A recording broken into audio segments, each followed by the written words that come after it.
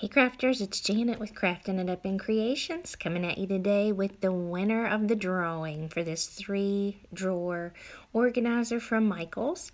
Um, it can hold washi tape, it can actually hold ribbons, threads, um, you can even put markers in it. The little um, smaller um, ink cubes could go in this as well. And I've used the YouTube random comment picker. I'd never used this before and I was kind of really excited, but you put in the actual video that you want to pick a comment to and then you put in the, um, you click a button down at the bottom to uh, pick a random winner.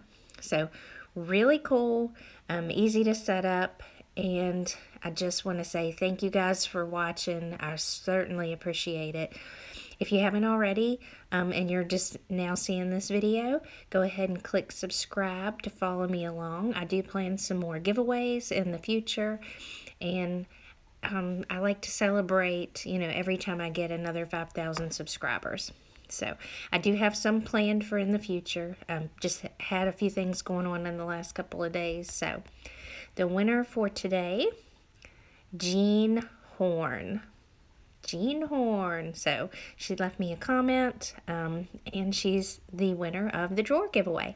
So if you would, Jean, um, email me through YouTube or even through my uh, Facebook account that I've included on here. If you go to my page, you can pull that up too, or even through my Gmail. So uh, email me, give me your address, and I will be sending out your drawer organizer. Thanks so much for watching. Thank you all. Um, your comments truly mean the world to me. I can't even begin to say thank you enough. So this is just one way that I can say thank you back. Thanks, guys. I hope you all have a wonderful day. Take care.